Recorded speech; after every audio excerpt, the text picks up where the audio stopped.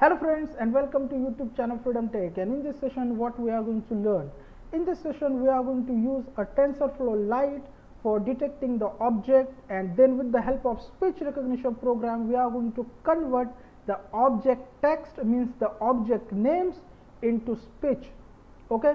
So basically the idea is what uh, Raspberry Pi 4 will be detect the object in live with the help of Raspberry Pi 4 camera module using TensorFlow Lite and then it will convert the detected object names into speak means Raspberry Pi 4 will be speak the detected object names.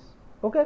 So before we move to our practical friends if you learn something from our videos please consider to subscribe our channel. Okay friends? Thank you so much and let's get started.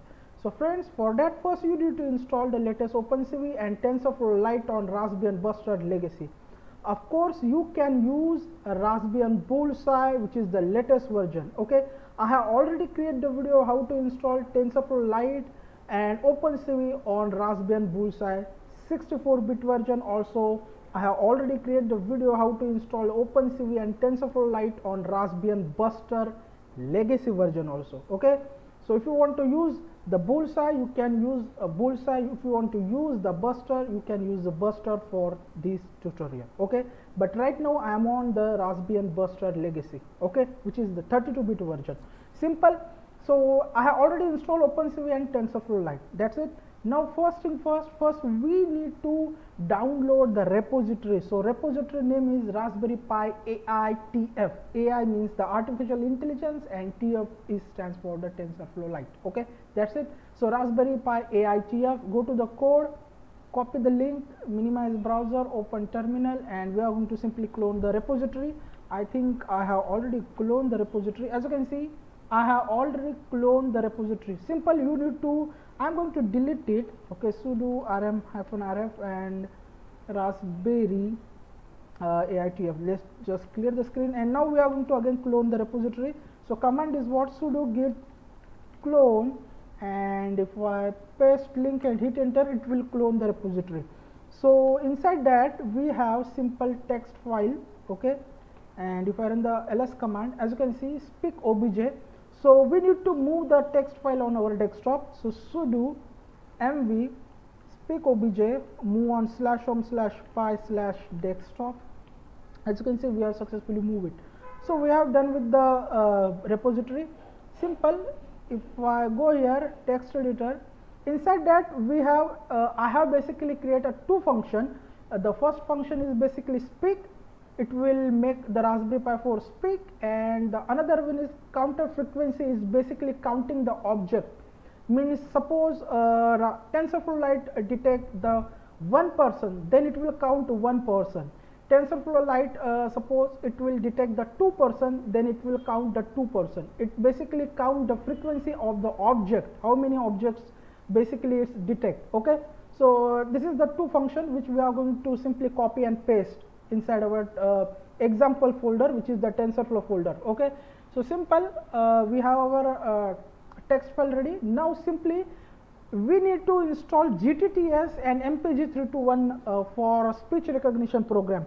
So sudo pip3 install GTTS hit enter it will install the GTTS okay I have already installed it. Simple pip3 uh, sudo pip3 install GTTS and it will install the GTTS then we need here uh, mpg321 player. So sudo apt install mpg mpg321 and just hit enter. I have already installed it so it says mpg321 is already the newest version. So command is what? Uh, sudo apt install mpg321 and sudo pip3 install gtts so we have done with the package installation also. Now as i told you we need to go inside the example folder. If you follow my tutorial the how to install TensorFlow Lite on the Raspbian Buster then you have the folder name which is the Raspbian legacy which we clone for installing the OpenCV, MediaPipe and TensorFlow Lite. So same folder which we are going to use in today's tutorial also. So we need to go inside the folder cd Raspbian legacy ls command and as you can see here it is what our TensorFlow folder means the TensorFlow Lite folder examples. So we need to go inside the examples. So, we are going to simply use our Thonny editor and with the help of Thonny editor we are going to open the file. Okay. So, simply I am going to open Thonny editor programming Thonny go to the file click on open and as I told you we need to go inside the pi and here it is what our last uh, clone folder which we use for installing OpenCV and TensorFlow and MediaPipe also. So, Raspbian legacy is the folder click on OK inside that we have our examples folder. So, examples then light then again examples then we need to go object detection then Raspberry Pi. Okay. So, same same folder uh, if you, you if you work with the raspberry and bullseye same folder okay examples then light then examples object detection and then raspberry pi okay same uh, folder for uh, and bullseye okay. So we are, we are now inside the raspberry pi folder and inside that we have as you can see detect.py file. This is what our main file so simply i am going to click on ok and it will open the detect.py and first simply we are going to check our TensorFlow Lite is working or not. So, simply I am going to simply uh, run the code and it will start the detect object. Okay, as you can see, it's detected uh, detecting as a person. Okay, so simple, it's working. It's uh, really great. Okay, so now what we want to do? We want to make some changes. So we are going to open again. We need to go inside the file, click on open and we are now inside the Raspberry Pi folder object detection examples Raspberry Pi. So, we are going to use here a utils.py file and with the help of utils.py basically we are going to make some changes inside the utils.py. Okay. So, simple just scroll down the file scroll down scroll down and here as you can see for detection in detections I have made some changes okay? As you can see the for detection in detections here we have class name. So class name is basically the object names. Okay? So we want to create the class name list. Okay? So for that i have create here as you can see for detection in detections i have create here first obj is just empty list. Obj and then after the class name we need to call our list. So obj which is the which is our list name obj dot append and inside that we need to pass the class name. It basically create the list of detected object names the class names. Suppose we have here a person so it's basically a save or we can say it basically pass the object names inside our obj list okay?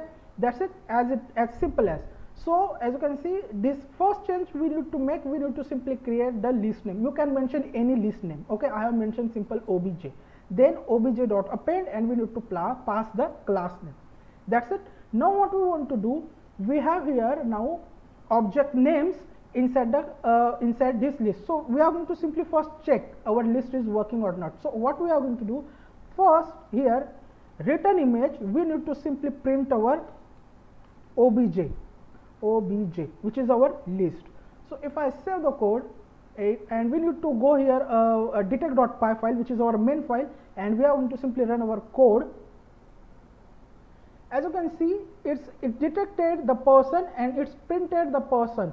Means this is what our class name. Right now we have only the person. Okay so that's why it says the person person person so, we have successfully created the list and inside that list we have all the objects. Okay. So, now what we want to do? We want to simply use our functions which we have inside our text file. So, we need to copy the first function which is the speak function just copy it open Thonny and go to the utils and just up here simply paste save and another function copy come to the Thonny editor. After speak we need to pass our next function. That's it save the as I told you this speak function is basically convert the text into speech and this count frequency is basically count the object uh, frequency means how many objects we have suppose we have two person then it says the we, we have the two person. Suppose we have two chairs then it says we have two chairs. That's it. So this is how it works.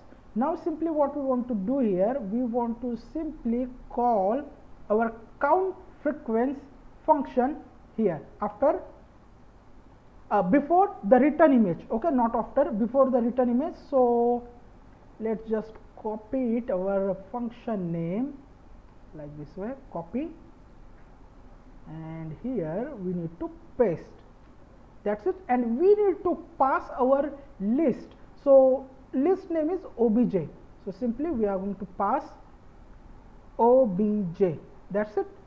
Save the code. And for knowing purpose for our purpose what we are going to do?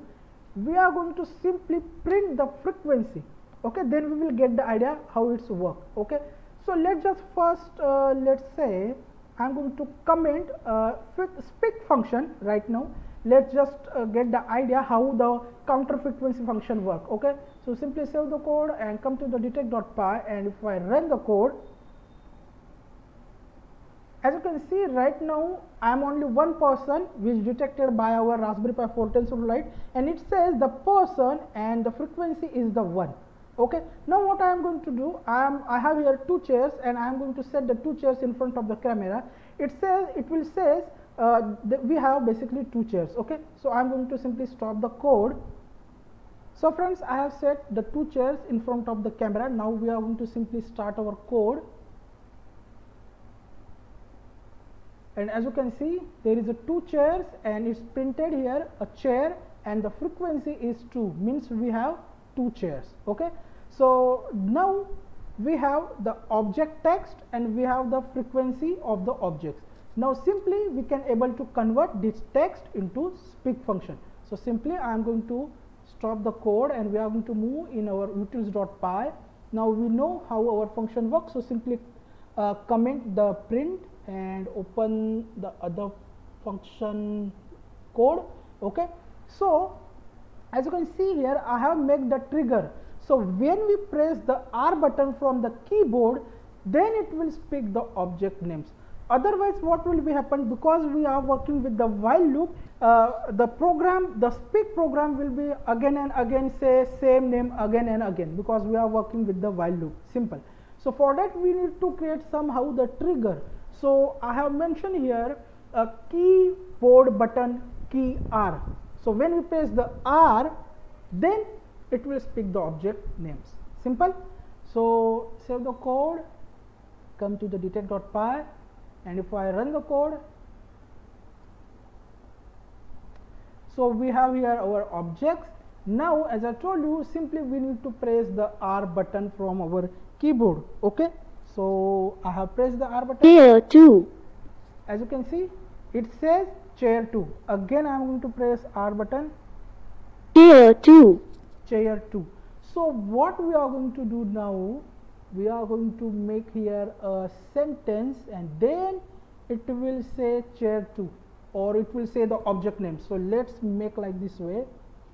Uh, let us say, sir, uh, there there is okay so sir there is chair 2 or uh, we suppose uh, there is lots of object we have uh, with the default TensorFlow Lite model okay?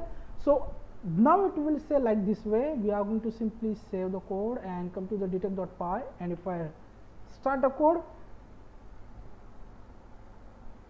uh, okay let's just go here it is dot .py okay. I forget to mention here a plus okay?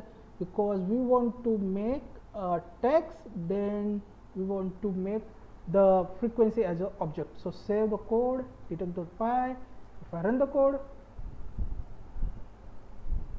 okay.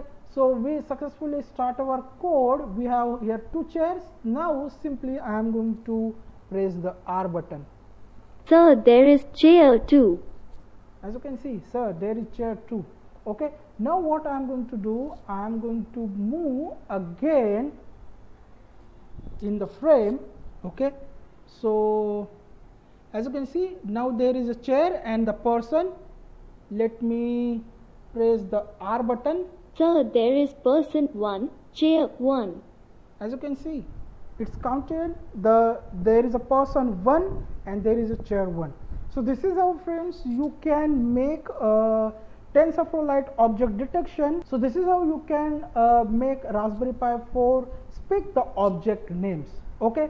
I hope you would learn something from this video. We'll meet our next video. Till then thank you. Take care and bye bye